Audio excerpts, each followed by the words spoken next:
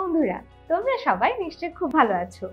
আমরা চলে এসেছি আমাদের ইংলিশ পটেটো বইয়ের ইউনিট নাইনে এটার নাম হচ্ছে ক্লাইমেট চেঞ্জ তাহলে চলো আমরা শুরু করি। এটার লেসন ওয়ান হচ্ছে mother earth in crisis mother earth মানে আমাদের মাতৃভূমি, আমাদের পৃথিবী।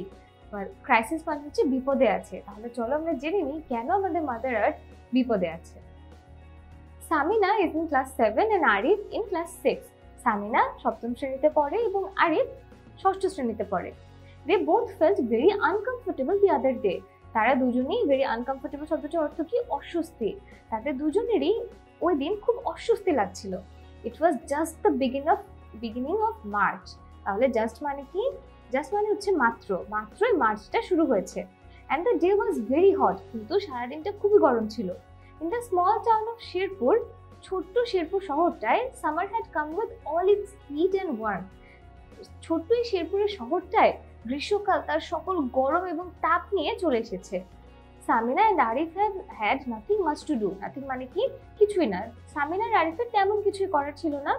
While sitting idle on the veranda idle মানে কি?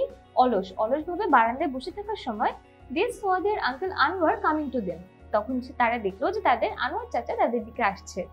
Anwar works in an NGO call save the earth Anwar একটা এনজিওতে কাজ করেন, সেটার নাম হচ্ছে পৃথিবীকে বাঁচাও বা save the earth Samina and Arif started talking with their uncle about weather and climate তাহলে ক্লাইমেট শব্দটির অর্থ কি?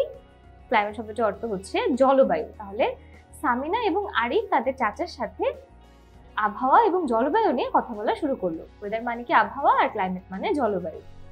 আনমার বললেন children why are you sitting idle here you look very unhappy Anwar বলল, বাচ্চারা, তুমি এখানে কেন চুপচাপ বসে আছো?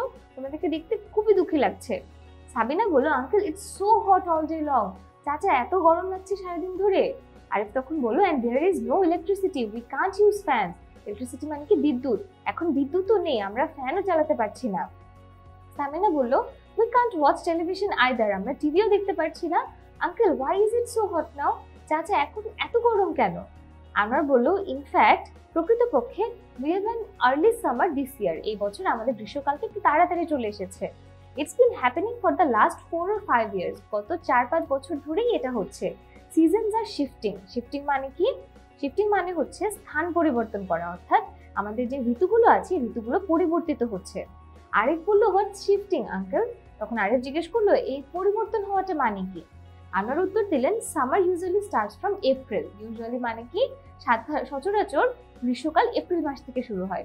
But this year it has come in March কিন্তু এই বছর মার্চ মাসেই গ্রীষ্মকাল চলে এসেছে। This moving from April to March is a shift or change এই এপ্রিল থেকে মার্চে চলে আসাটাই হচ্ছে একটা পরিবর্তন, যেটা হচ্ছে ওয়েদারের বা ক্লাইমেটের হয়েছে।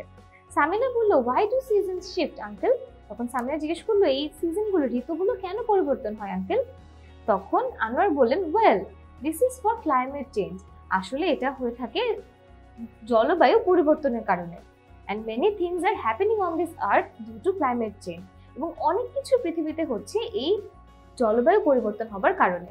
ফর এক্সাম্পল উদাহরণস্বরূপ সিজনস আর শিফটিং ঋতু পরিবর্তিত হচ্ছে টেম্পারেচার মানে তাপমাত্রা ক্লাইম্বিং মানে আরোহণ করা, অর্থাৎ তাপমাত্রা বেড়ে যাচ্ছে and sea levels are rising এবং তাপমাত্রা বেড়ে যাওয়ার কারণে আমাদের যে সমুদ্রের লেভেল আছে সেটাও উপরে উঠে যাচ্ছে। If things go on like this যদি জিনিসপত্র এভাবেই চলতে থাকে our mother earth will be in danger বলছে আমাদের পৃথিবী খুবই বিপদে পড়ে যাবে।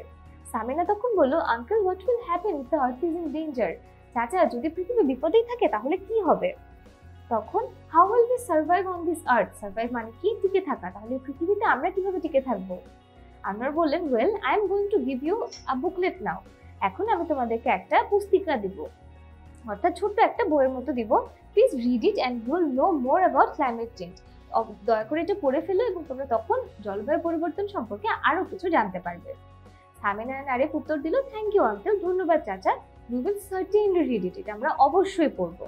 তাহলে দেখো, এই যে ক্লাইমেট চেঞ্জ নিয়ে এবং মাদার আর্থ নিয়ে আমরা অনেক বড় একটা প্যাসেজ কিন্তু পড়ে ফেলেছি। এবং এই প্যাসেজটা বুঝতে যদি তোমাদের একটু সমস্যা হয় তোমরা কিন্তু এখানে যে আমাদের অনুবাদ দেওয়া আছে, এই অনুবাদটা পড়ে ফেলবে। এখন চলো আমরা কিছু এক্সারসাইজ করি। প্রথমে আছে, which one of these is an example of climate change? কোনটা দিয়ে আমরা বুঝব যে ক্লাইমেট চেঞ্জ হচ্ছে? তাহলে কোনটা হবে বলো তো হট সামার ডে খুব গরম একটা দিন থেকে আমরা বুঝতে পারি। তারপর বলেছি if things go like this here go on মানে কি? গো অন মানে হচ্ছে টু কন্টিনিউ অর্থাৎ গো মানে হচ্ছে এভাবেই চলতে থাকবে কন্টিনিউ করলে। এবং শেষ প্রশ্নটি হচ্ছে what is the synonym of climate জলবায়ুর সিনোনিম কি? ক্লাইমেটের জন্য হচ্ছে অ্যাটমসফিয়ার অর্থাৎ আমাদের পরিবেশ।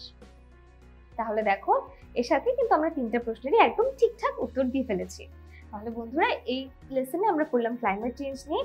এর পরের লেসনে আমরা পড়ব the heating up of earth নিয়ে।